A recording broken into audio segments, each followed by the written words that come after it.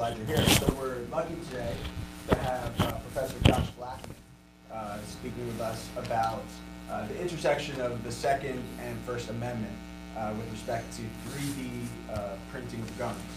Um, so just real quickly, uh, Professor Blackman is uh, Associate Professor of Law at South Texas College of Law in Houston, and specializes in constitutional law, the U.S. Supreme Court, and the intersection of law and technology. Uh, Josh is the author of uh, book written and published in 2013 entitled uh, Unprecedented, Constitutional Challenge to Obamacare, uh, and also Unraveled Obamacare, Religious Liberty, and Executive Power, which was in 2016. Uh, Josh has a great blog, by the way. If you want to check it out, you can find it at joshblackman.com. No one uses blogs anymore. They use Twitter now. Oh, Really, it's true. Oh. Uh, at Josh M. Blackman. so you can follow him on Twitter. Much more popular. And uh, Josh is the author of over four dozen law review articles, and his commentary has appeared in the New York Times, Wall Street Journal, Washington Post, USA Today, uh, and other national publications. So uh, join me in welcoming Josh. Thank you so much. It's great to be back here in Davis. Um, I have a, a knack for studying famous constitutional cases where they arose. Um, and yesterday I was in Denver, and that's actually where the Masterpiece Cake Shop was. And I went to go visit it. So after this, I'm going to visit the med school Bakke v. Board of Regents. So I always like to add to my roster of famous places. Uh, I have a treat for you today. You get not only one constitutional right, but you get two constitutional rights. How both the First and the Second Amendments protect a right to 3D printed guns. So let's start basic. Has anyone here ever used a 3D printer? Yeah, what'd you make? An ashtray? Okay, that's nice. How about you? What'd you make? Uh, me? I Yeah. just made like a little figurine. Figurine? Who else? No one else? Okay. That's good, not too bad. Okay. 3D printing is a way to design an object on a screen and convert it into a real life object. Uh, you can design a ashtray or a figurine or a car or even a house on a computer. And a 3D printer lets you make that object a real life thing. Let's take a brief detour. Will I get arrested if I say learn how to code? What does California put me in jail for that or no? Not yet, not yet. Okay, so hashtag let's learn to code. Um, it's not that hard. If I want to make a cylinder, right, tube, and I want to make a tube with a height of 20 and a radius of 5, you know what that means? 20 inches tall, 5 inches wide. And if I tell the computer, make a cylinder, the height of 20 and a radius of 5, that is what spits out. Okay? This is not complicated.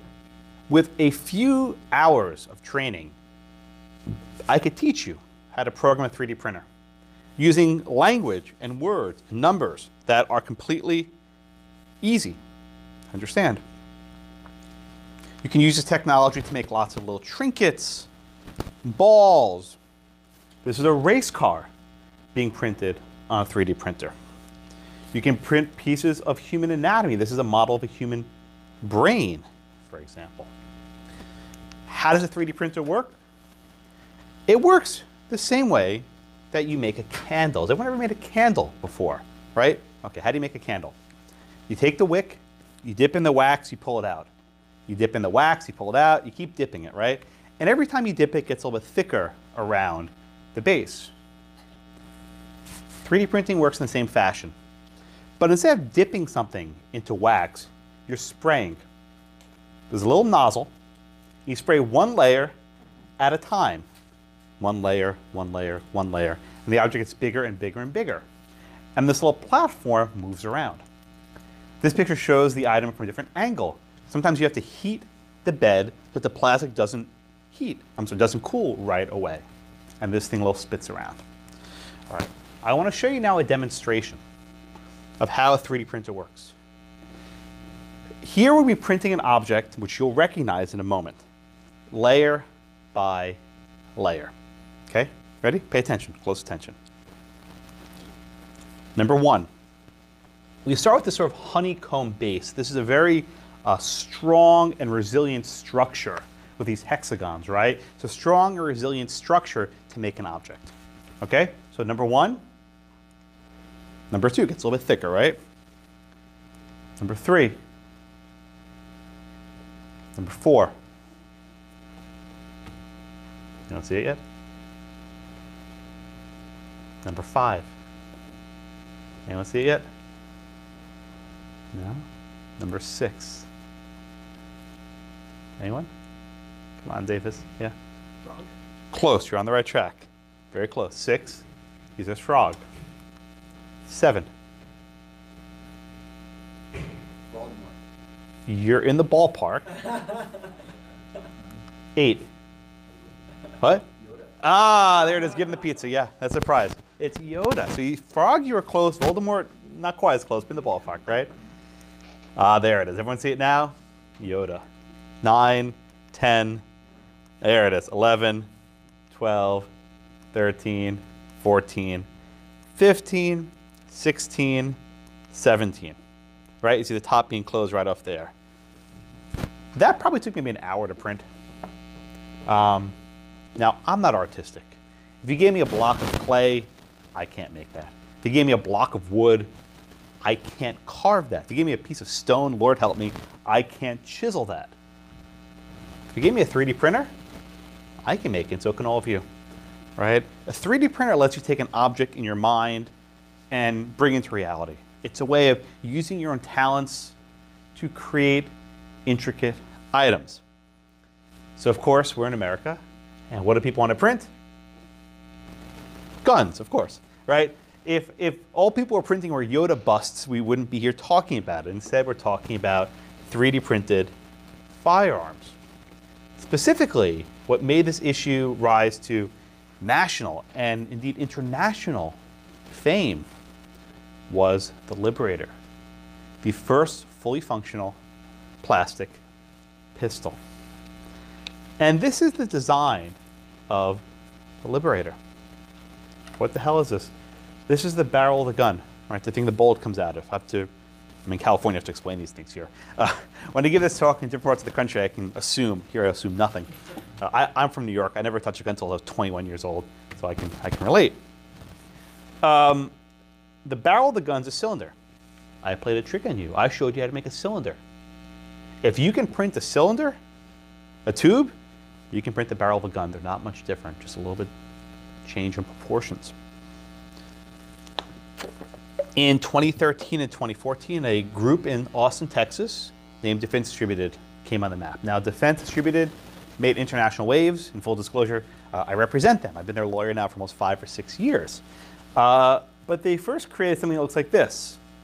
This is the lower receiver for an AR-15, right? This is the guts that make a semi-automatic rifle work. And you can print your own fairly easily. They also 3D printed uh, the magazine. Right, this is the box the bullet's going to. California, right? Uh, in fact, Cody, his favorite item he made was actually named after one of your former senators, the Dirty Diane, which is basically a silencer. think, think of that for a minute. Yeah, after Diane Feinstein. There it is. Uh, but what put DD on the map, the global map, was this. What the hell is this, Josh? This is the Liberator, broken into different parts. It's a fully functional plastic pistol made entirely for printed parts, with the exception of this little nail, which is used as a firing pin, the thing that hits the bullet in the back, and the bullet. Of course, bullets are made of metal. Plastic bullets don't get you very far. Okay.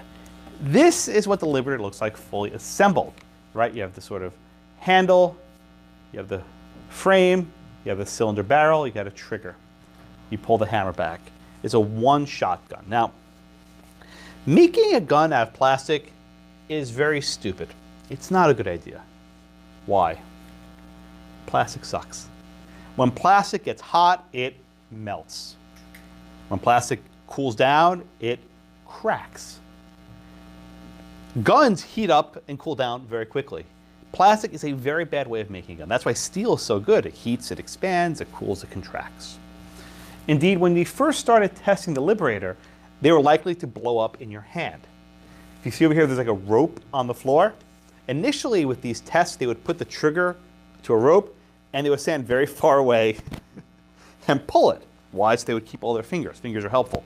Um, so, so the fear about plastic guns is really overblown. These are terrible guns. To even make it strong enough to withstand a combustion, you have to treat the barrel with this acetone bath to harden and strengthen the plastic. And again, if you screw it up, you'll blow your hand off. Right? This is not a good way of making a plastic gun. The additive materials are very weak. And people say, oh, Josh, technology advances. I've been working in this case now for five years. Plastic hasn't gotten any stronger. We've more or less reached the point where plastic is as strong as it's going to get. It's not designed to make a gun. Indeed, the people who made these recognize these are not good guns. This is more of a philosophical and a moral project than a way of putting actual functional firearms in the hands of people. Okay? Anyway, this is what the Liberator looked like in its completed form. So is there a problem? Right? Is it against the law? Oh, Was that questions at the end? Thanks. Is it against the law to 3D print your own weapon? Um, now, usually I say, is it against federal law? California, you guys are special. You're always special. There are certain California laws, which I'll get to later. But as a general matter, there's not a problem, right? People think, oh, 3D printed guns is like this. No, that's not what it's like. That's not how this works. And let me surprise you. It's very easy to make a gun. I might be abetting a crime right now in California, but I think I'll go ahead with it, right? I'll show you how easy it is to make a gun. I don't have any props here, I have pictures. Okay? For example, this is called a zip gun. A zip gun is a homemade gun made from parts you can find in a hardware store. What is this? It's a soldering iron and a garden hose. That's it. For $10 worth of parts, a garden hose nozzle, and a soldering iron, you can make a fully functional weapon. I found these photographs on the internet. This is a keychain flashlight that someone repurposed into a gun. All you need to make a gun is a tube that can withstand a blast. That's it. Now, I want to illustrate to you how easy it is to make a gun, how simple it is. Okay, how am I going to do this? Through these guys. Now, these guys are morons. Do not try this at home. Please, please listen to me. Don't try this at home. They're going to make a gun out of a rubber tube, a metal pipe, and a shotgun shell. And they're going to record it on their flip phone because they're really cool, right? How do you make a gun out of these parts? Simple. On the edge of this metal pipe is this little dimple. That's going to be the firing pin. They're going to load the shotgun shell into, come on in, into this rubber tube. Yeah, come on in. Oh. Well, you can sit and watch then. Lame. Pathetic. Okay. Forgot something. Uh, so here's what we're going to do. They're going to load the, the shotgun shell into this rubber tube, and they're going to jam this pipe into the back of this tube. Okay, so let's take a step back. Reasonably prudent person, right? What's wrong with this picture? What's wrong with this picture? A lot of things, but just give me one thing. Shout it out, come on. What's wrong with this picture? Yeah. shooting it at a cardboard box Indoors, yeah. It's even worse than that. Look what's behind this cardboard box. Here, the next picture shows a little more clearly.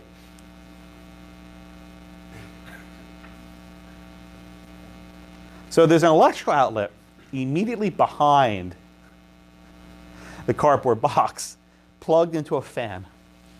Okay, so again, these guys are morons, right? But I want to illustrate to you how simple it is to make a gun. You need a $50,000 3D printer to make a lethal weapon. You don't. It's ready, they're going to fire it. One, two, boom. Gun, right? No assembly, no manufacture. And these are all parts that you can buy at any hardware store. Really simple. Um, they take the shotgun shell, it's spent, you see it's smoking, they're all so proud. Um, they made a gun. Now, did these guys break the law? Um, there might be a law concerning uh, a prohibition on firing or discharging a weapon indoors. That's not my concern. Did the actual manufacturer of this weapon break the law? At least under federal law, the answer is no. Um, California law, the answer is probably. Uh, recently, California changed their regime. Um, they said to have a homemade weapon, you actually need to um, uh, have a serial number from the state, uh, which is not impossible to get. You can get one.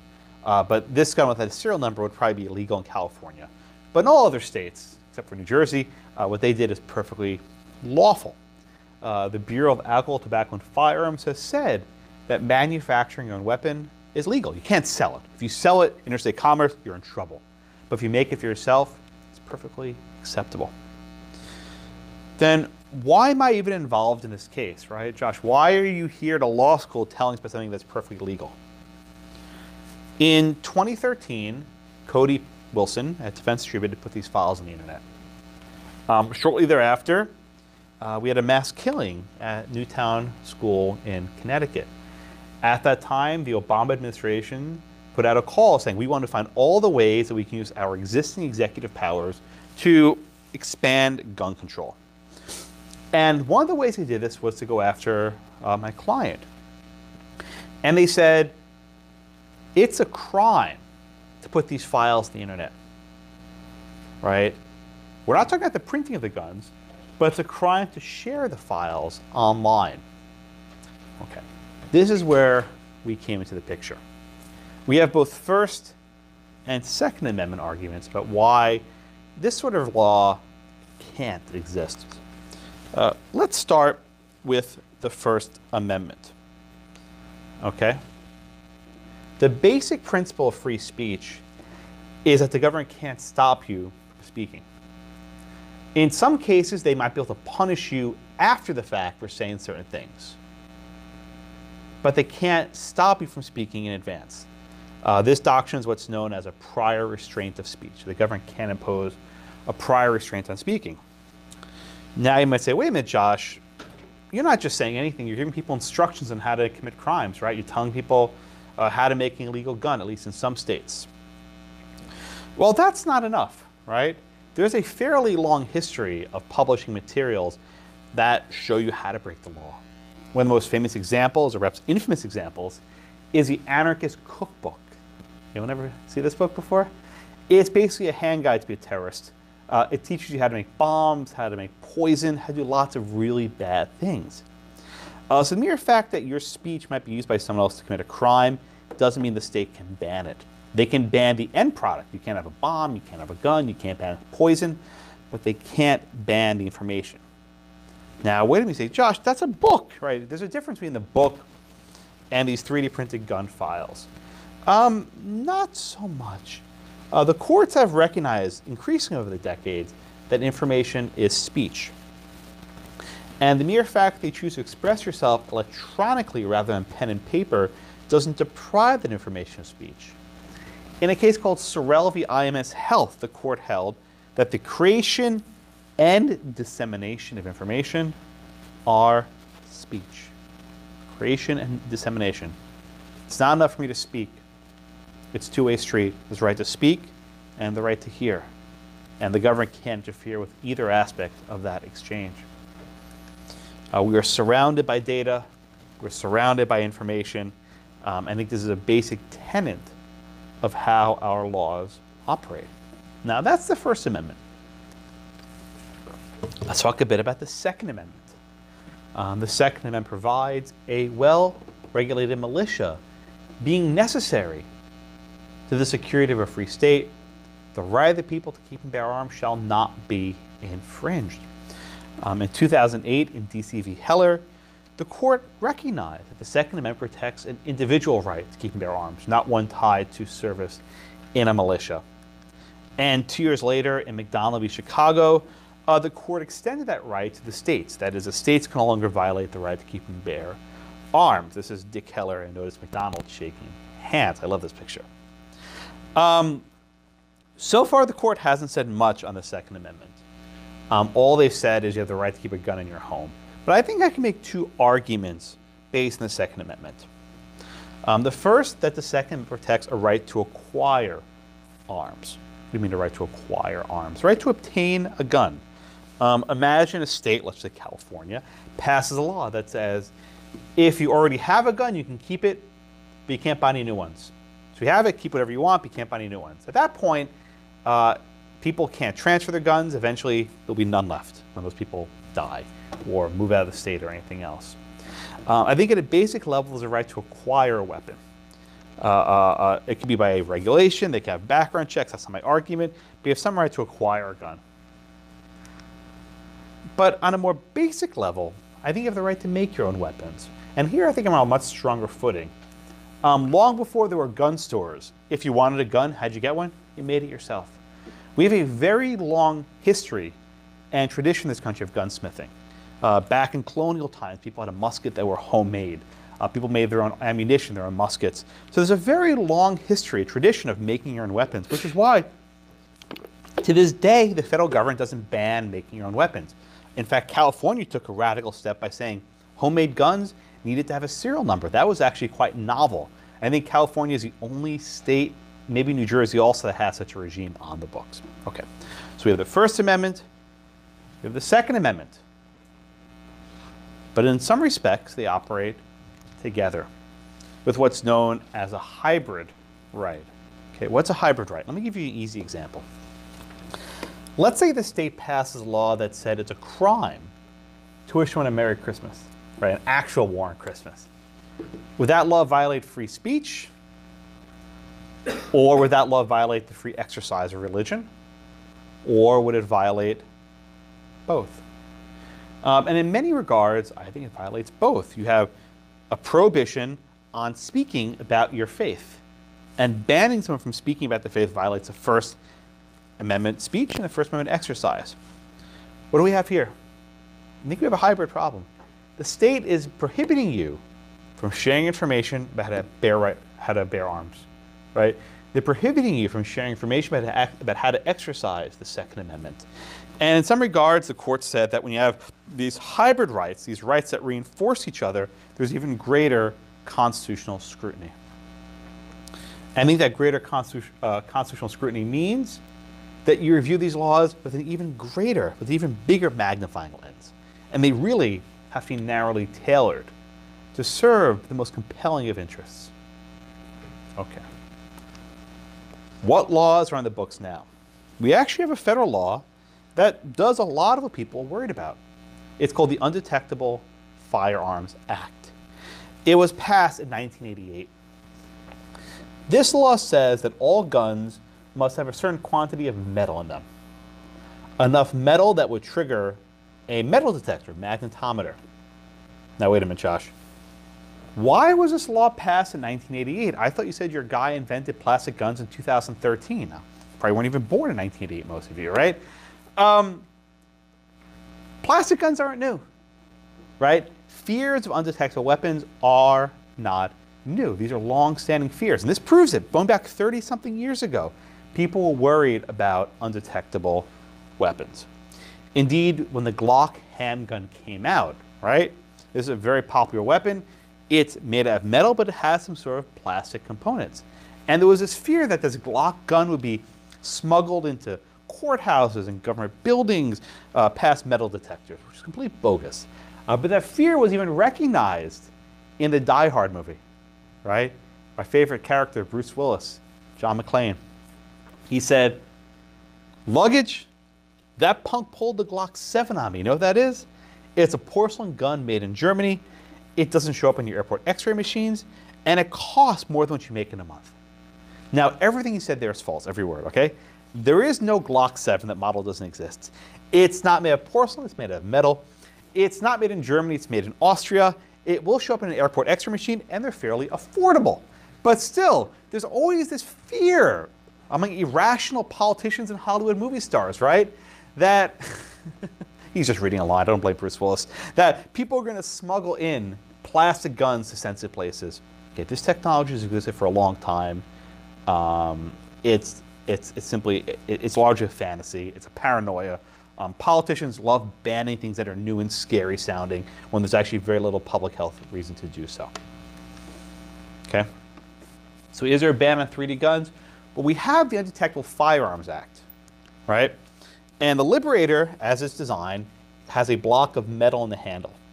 And that block of metal will make the, the, the Liberator comply with the Undetectable Firearms Act.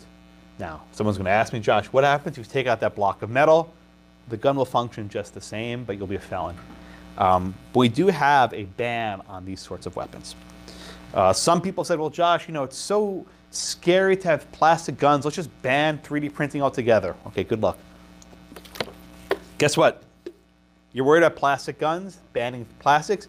You can 3D print metal, like Terminator style, right? You can actually 3D print a fully functional handgun. This was printed in a lab.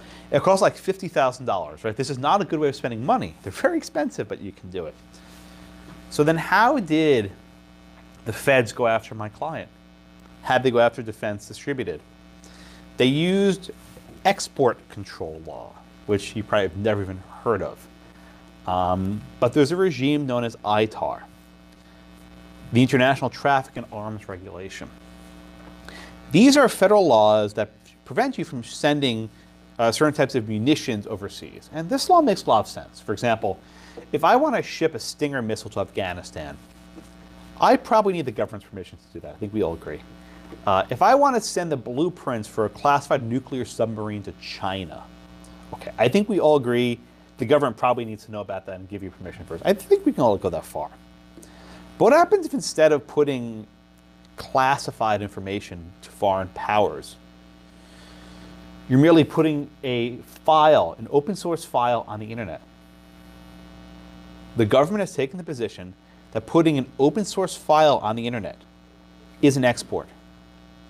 That sharing a file on the World Wide Web is no different than sending China the blueprints for classified nuclear submarines. Um, the State Department has never before actually taken this position. In fact, we were the first time they ever did this. Congratulations, right? Uh, they never taken this position before. And indeed, uh, the Department of Justice has said in the past that you can't apply ITAR to public speech, to research, to academics. Imagine you're an academic, you're a professor, you're a grad student, and you want to share some of your work with colleagues in other countries, and it involves 3D printing. Can the government say you need a license now to share an academic paper?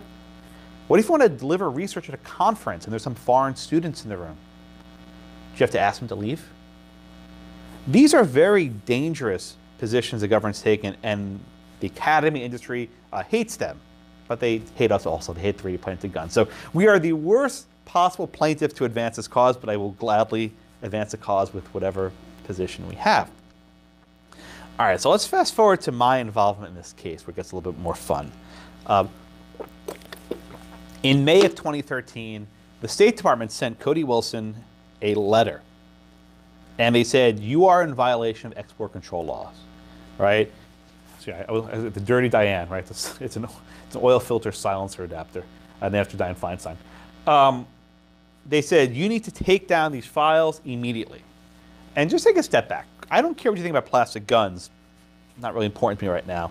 The federal government sent a letter to a US citizen demanding that he remove a file from the internet, an open source file that he created himself.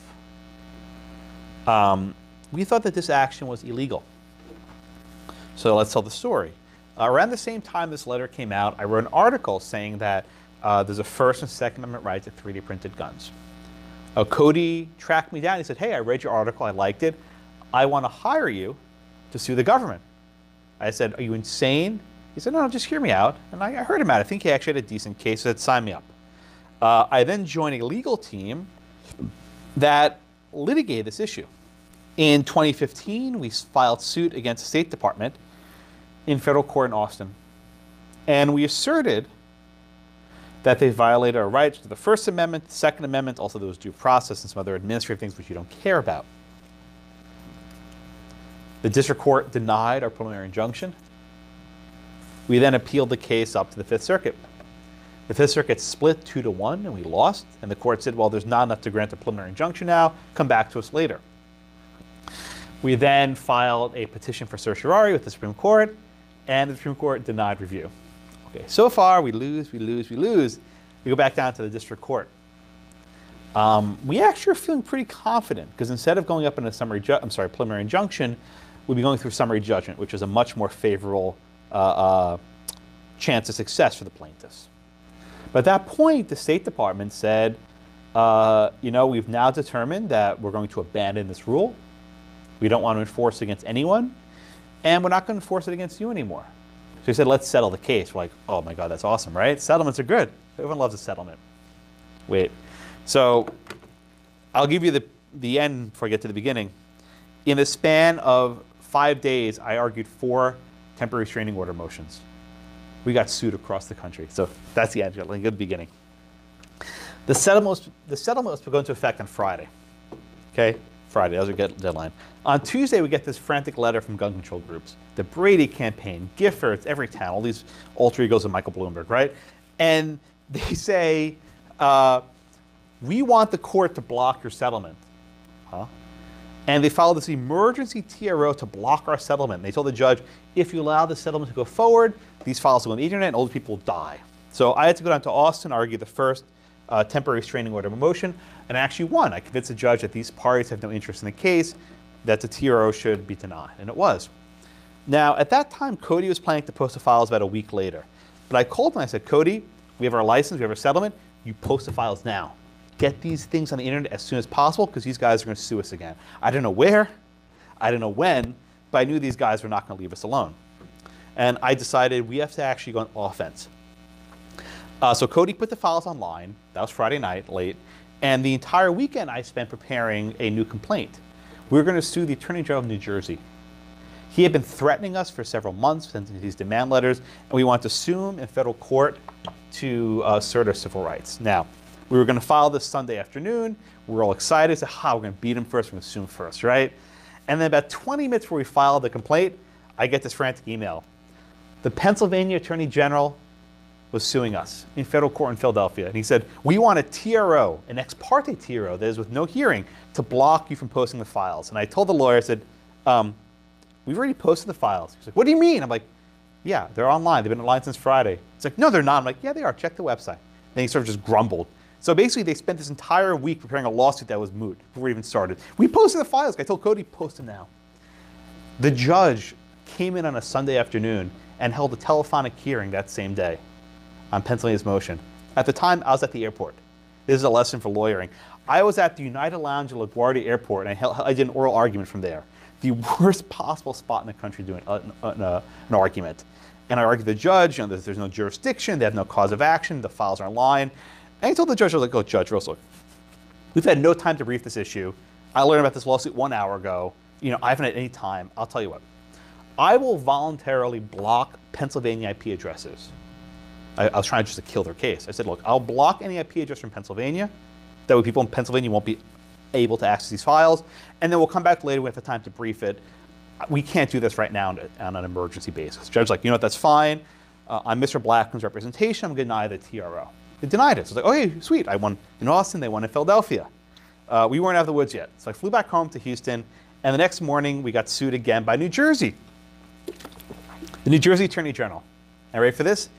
He sued us in state chancery court. I'm not kidding you. Ready for this? He argued that putting a file on the internet was a nuisance.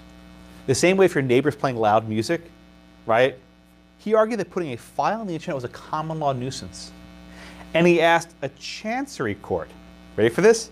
He asked a chancery court to issue a nationwide injunction to block a Texas company from putting a file on the internet. I really had to scratch my head on that one. And he wanted it ex parte, that is, that in a hearing. So fortunately, the judge in, in New Jersey, was Essex County, basically Newark, uh, denied the TRO and he uh, denied an ex parte. He said, look, we'll have a hearing the next day. So I stayed up all night briefing this case in New Jersey. And I had to argue this case in front of this chancery judge. Again, by phone. I was in Texas. I can't get there immediately. And um, I told the judge, like, Judge, with all due respect, you are a court of chancery. You don't have jurisdiction to issue a nationwide injunction. And he said, Mr. Blackman, you're probably right. Uh, so we argued back and forth. And after this long hearing, the judge denied the TRO. I was like, okay, good. So I won three TROs. I'm feeling great, right? My winning streak would come to an end very soon. That same day, we were sued in Washington in Seattle federal court by eventually 20 attorneys general including your lovely General Xavier Becerra sued us. We, we tussle, right? Uh, they sued us seeking, again, a, a restraining order to block our settlement. They actually sued the State Department. We were brought in as necessary parties. I don't know why we're in the case, but they brought us in. And I argued that case. I said, Judge, uh, again, I argued by phone. Uh, I, was, I was in Houston, the judge was in Seattle. I said, Judge, if you enter this injunction, uh, you'll be violating the First Amendment, you'll be restraining our speech. This is like the Pentagon Papers case. Uh, the judge wasn't interested. He asked me, I think, one question. The question was, uh, Mr. Blackman, do you represent all the parties? Again, why would he ask that question? I'm going to rule against you, and I'll make sure I rule against everyone at once. and I don't have to issue a separate opinion later. So I knew we were going to lose. And after this long hearing by phone, uh, the judge in Seattle issued an injunction, a temporary restraining order to block our settlement. And I, I, I did something you're not supposed to. I said, Your Honor may be heard. Usually when the judge issues this ruling, that's it. Everyone goes home. He was trying to get out. The judge may be heard. He's like, yes. I'm like, let me understand. Are you ordering my client to shut down his website? And he says, no, I'm not. So I said, Judge, let me clarify. You're not supposed to do this, but I did it anyway. As a consequence of your ruling, my client's website is now illegal. And then the judge said, I'm going to paraphrase, said, well, you know, sometimes anarchists break the law. So he took a shot at my client, which I didn't appreciate. So I, I clapped back, which you're not supposed to do. I'm a law professor, I don't care. Um, and, he, and, I said, Your Honor, my, my client always complies with court orders. And the judge said, Well, I was trying to make a joke. Uh, it's not funny. Um, so at that point, we lost. I had been in this roller coaster for five days. I had to argue four TROs. I worked 90 hours in five days. You can just do the math. I, I barely slept. I was up all night writing. Uh, it was a roller coaster. But then the hardest part of all this was I had to call my client. And one day you'll be lawyers. You'll have to make a call to your client saying you lost. And this was hard. We've been really emotional. I called Cody. I was like, we lost. The judge ruled against us. Uh, you need to take down your website. Because at that moment, his website was in violation of the law. And I said, Cody, you got to take the thing down. He's like, yeah. I'm like, yeah, I got to take it down. And we, we actually were crying a bit. It was actually it was quite emotional for us both. Um, and taking it down was, was, was not easy. Uh, he had all these firewalls and redundancies to keep the site up in case of an attack. So eventually, he was able to pull the site down uh, but we claim a moral victory. Right? We claim a moral victory. By putting the files online Friday and taking it down on Tuesday, they're online for, for almost four days. These files are out in the open. They are in the ether. They're everywhere. We won. They lost, right? They tried to silence us and we won. Uh, so I, I, do claim a strong moral victory there. That because we put we moved quickly enough, we got these files into the World Wide Web, and I, I'll be proud of that for, uh, for the rest of my career. Um, but the case certainly didn't end there, and it's still ongoing. Uh, we, we, continued our litigation in Austin, and the trial court ruled against us. We've now brought another action in New Jersey against the Attorney General there. Uh, that's still pending. Uh, and this case basically goes on and on and on. Uh, I think at this point we'll have appeals pending eventually from the Ninth Circuit in the Seattle case, uh, from the Fifth Circuit in our Austin case, and the Third Circuit with our with our with our Newark or actually Trenton, New Jersey case right? We'll have three appeals simultaneously. And it's my sincere hope and prediction uh, that the Supreme Court finds this issue worthy of taking. I think we will get some splits uh, on the issues and resolves a couple threshold questions, right? First, are these sorts of files uh, speech? Um, the court has sort of suggested the answer is yes. I think the answer is clearly and unequivocally yes. Uh, these files are expressive, they convey information, they're used to design files. Uh, other types of code, I think, probably aren't speech if it's more like machine code or something that's much more mechanical. Um, okay, so if our, our information speech, can the government prohibit it? Uh, I think the answer then again is no. Uh, even though the speech might be used to uh, make guns, the remedy for the state is to ban the gun itself, not to ban the files used to get there. Right? You don't ban the speech, you ban the end product. Oops. And I think that's a far better approach to resolve the issue. Uh, there's a third issue which I'm much more uh, optimistic about. Can the states regulate the internet? Now, your beloved home state thinks the answer is yes. They've tried to impose net neutrality and all these other laws. If there's anything that's interstate commerce, it's the internet, right? I, I am like the most narrow commerce clause person in this, in this probably this building right now. Uh, uh, but whatever the commerce clause means, it means the states can't regulate the internet. We have the dormant commerce clause. States cannot tell you how to how to run an internet business in Texas. So I think a lot of these states, uh, these state laws are a violation of the Dormant Commerce Clause. I think also we have preemption issues. We have uh, the Communications Decency Act, Section 230, which prevents states from imposing liability on internet content providers. Uh, i- i- i- it's up to the federal government to do this. So I think we have preemption. I think we have dormant commerce clause. I think we have vagueness arguments. These statutes are very vague. I'll give you an example.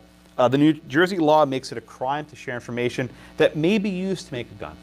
That may be used. So let's say I put online the blueprints to make a toy gun. I'm a cosplayer, right? I make a toy gun. And then someone hacks that file and makes it functional. I am now a felon. I made a blueprint for a non functional weapon which someone modified. I'll give you an even worse example. The statute applies in New Jersey to firearm components, like a nut or a bolt or a screw.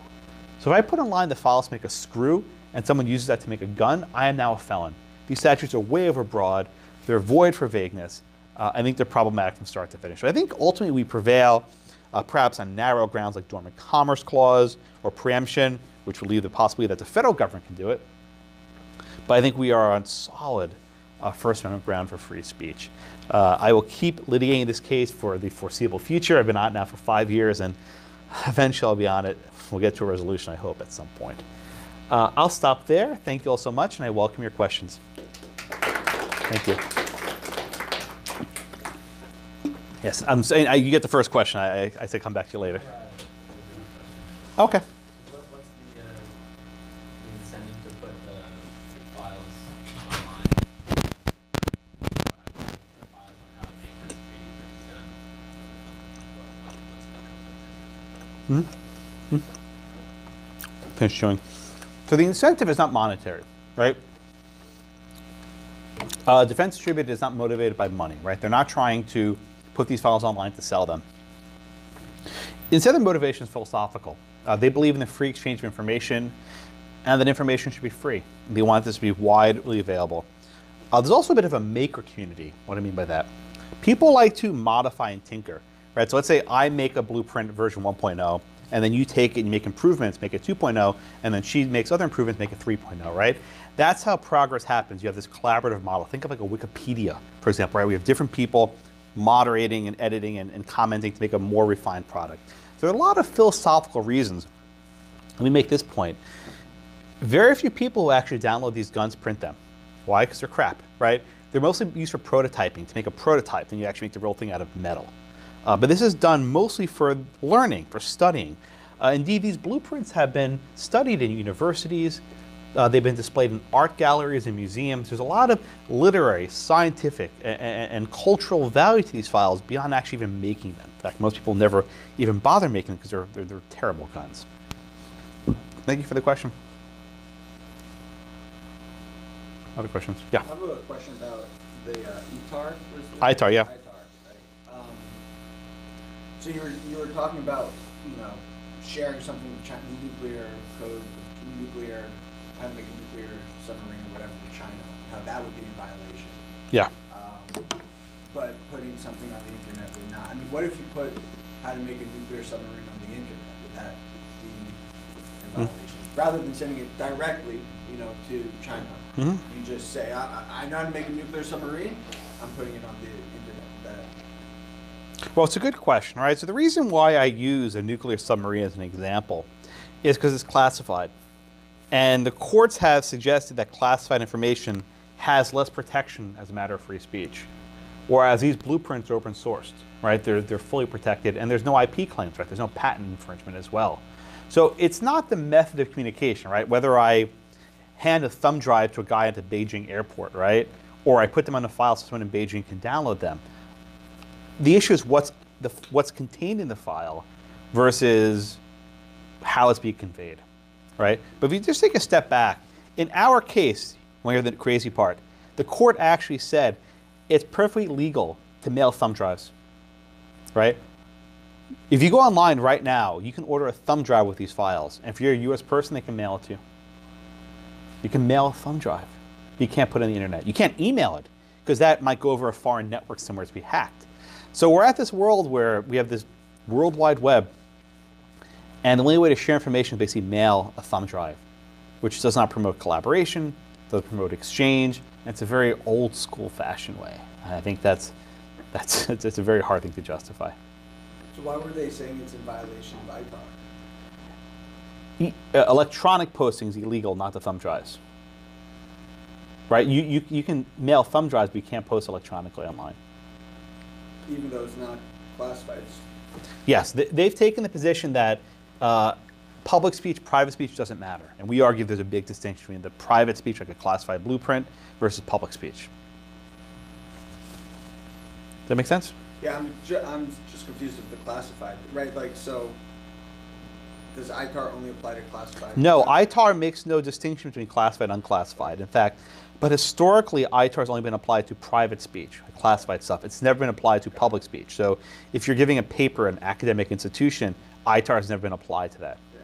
But if say you work for like you know Lockheed Martin and you have the blueprint for a fighter jet, that would be more of a, a private nature. Yeah. So I've sort of been following this case since. Oh, since I've- great. Me too. Uh, and, and I'm curious, I mean, I'm, I don't know whether Defense Distributors is one of the companies releasing, um, plans for, like, for example, registered drop-in auto sears, or whether that's somebody else who's using the same technology, but what issues are presented by, not necessarily three D printable guns, but for example, three D printable weapons components which convert, you know, for example, semi-automatic. Sure. So, again, the plastic gun thing, I think, is a is a boogeyman, right? Having a plastic gun is not a good idea. But What you can print is plastic components used with a metal gun. So, for example, you mentioned the receiver, right? The receiver is what make a gun actually operates, and Defense Distributed has posted online uh, the receiver for an AR-15 semi-automatic weapon. Uh, I don't think uh, DD has done anything for automatic. I, maybe other groups have. I don't think DD has done anything with automatic. Uh, but then again, if you have a metal gun with a plastic component, um, that will be detected by metal detectors. So all the fears of smuggling plastic guns go away very quickly. Again, ammunition is also plastic. Uh, but, but the far more popular aspect is using uh, uh, these tools to home generate um, uh, uh, uh, metal or plastic parts, right? And again, California has now said, I think, correct me if I'm wrong, but I think the California law is you can make your own stuff at home, but it needs a serial number, which you can get from the state. Am I, am I saying that correctly? Yeah, you have to apply to the state. Do they, are they actually issuing these numbers? I don't know. Uh, people are trying with the like eighty percent Right. watt lower kits. As far as I know, some people are it. Oh, they have. You, you think they have? Yeah, I, I, I don't know, but so my position is as long as the state actually issues these numbers, I don't have a problem with it. Uh, New Jersey has said it's actually a crime to make it at home. Period. You have to be licensed as a home as a manufacturer, which is basically impossible. You have to have like all these equipment and, and things like this. So I think actually, believe it or not, the California approach is optimal to the New Jersey approach, which is a flat-out ban. I think the New Jersey ban is unconstitutional, which we'll get there. Thank you for that. Yes, in the back. Uh, personally, I, I, I have concerns over maybe an anarchist cookbook being out there, out there, any, you know, homemade bomb website. I, that, I understand how that concerns people or myself. Um, see like that would be a, or the other side of the argument would be that just risks too much totalitarian, uh, control. Um, I, I, I understand the public safety arguments of, of preventing such things, but they public should be. Right. Um, I, I get- the public safety arguments, right? The- These are files that people can use in the wrong hands to do bad stuff. Um, generally, the remedy in that case is to ban the end product, not the information used to get there. And I think we have a lot of precedent. I mentioned the Anarchist Cookbook and other documents. Uh, so let's say, for example, I write a, a book, right, that discusses how to be a hitman, right? Can they then ban the book? Okay, another example. I give you step by step instruction on how to kill a specific person. Can they then punish me for my speech? Right? I think these are very different situations. You have to have, I think, an intent to actually help someone commit the crime. Merely posting files in the abstract that may be used to commit a crime is too far. Think of it in crim terms. Are you intentional? Are you negligent? What's your mens rea? What's your state of mind? I think to have a prosecution for these speech crimes, you need to have a requisite intent. Uh, the New Jersey law is strict liability. There's, it's, it's, there's, there's no intent required. If you do it, you're a criminal. Right? If you put on online files for a toy gun and it's manufactured into a real gun, someone hacks it, you're a criminal. So I think you need to address your concerns. You need an intent requirement to make sure you're actually getting people who are culpable, but not sweeping in people who are, I think, innocent. Yes.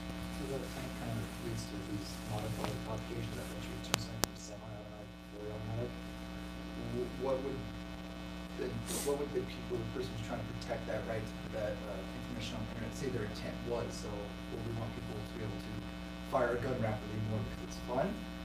Um, I, I don't understand where the, where do you draw the line there? Well, um, let me take it one step at a time. So, why, why would people put files on the internet to do something that might itself be legal? For example, to have an automatic weapon. Um, they'll probably say we, we find this fun to develop and engineer. Uh, I think that's actually the wrong question. Usually, we don't ask people why do you want to exercise a right. We ask whether a state is an adequate justification to restrict that right. Right? We don't ask people why do you want to share this information. We ask can the state then punish it. Um, so I don't know why people want to put on files that do this or that or other thing. I don't really care.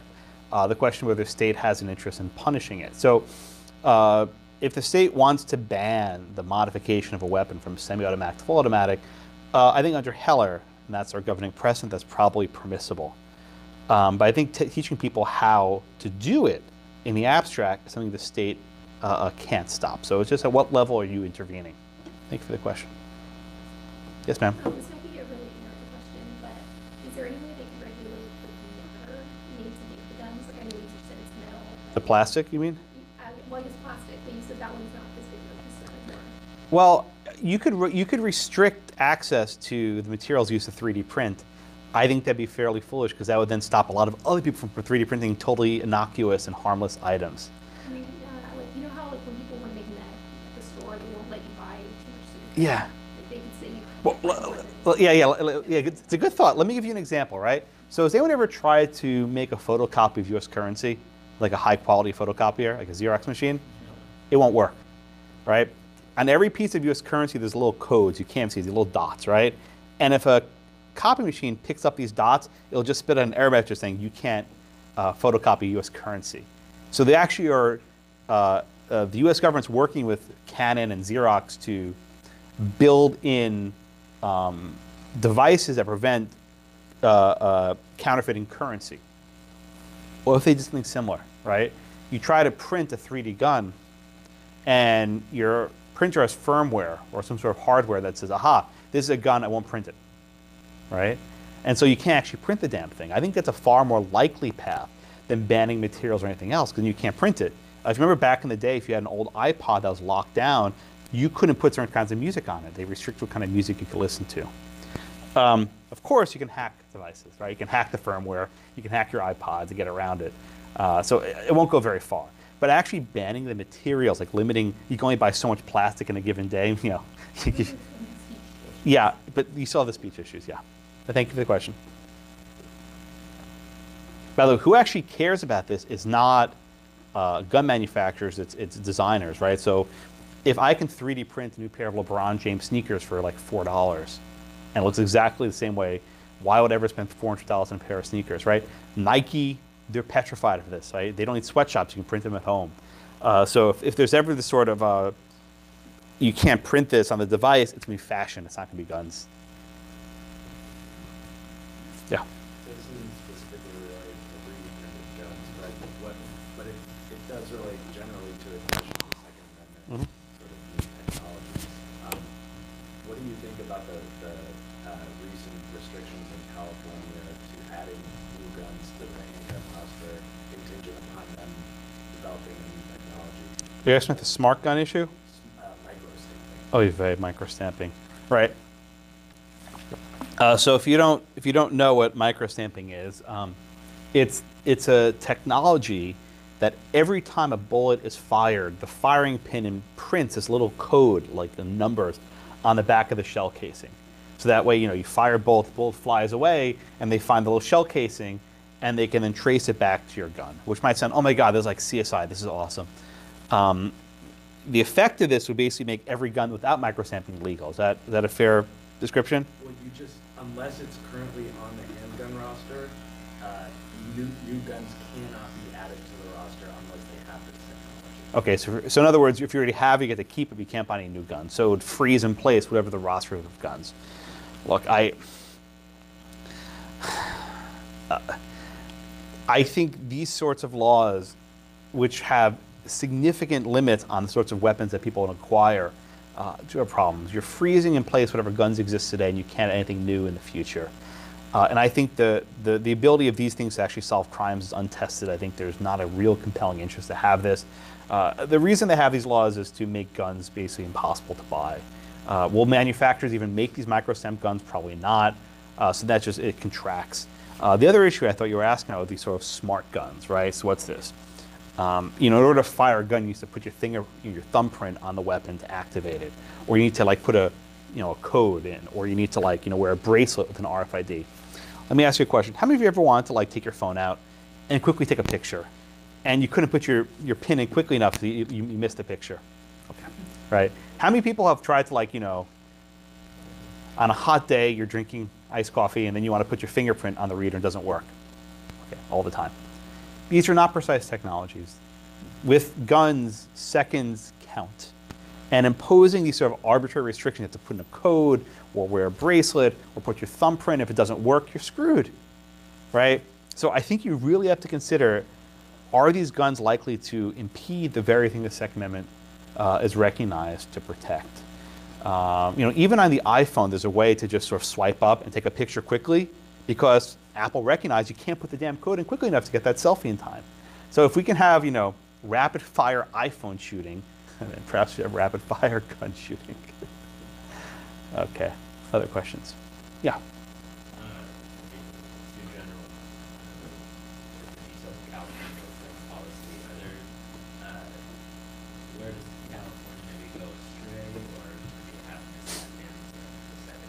Start with Reagan. Uh, I mean, the irony is the, the, the progenitor of most modern gun control laws in the state came from Ronald Reagan. Uh, in the 70s, when he was the governor, they imposed a lot of restrictions on concealed carry.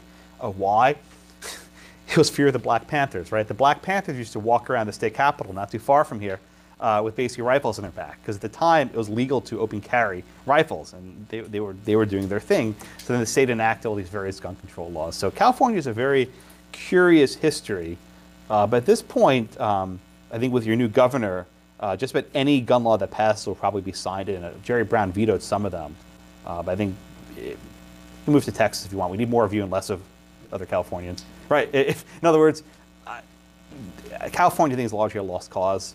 Um, with a super majority Democratic legislature and an anti gun governor and the Ninth Circuit, unless the Supreme Court intervenes, whatever they want, they'll get come to Texas. I go back as quickly as I can. Anything else? All right, everyone. Thank, thank you all so much. Uh,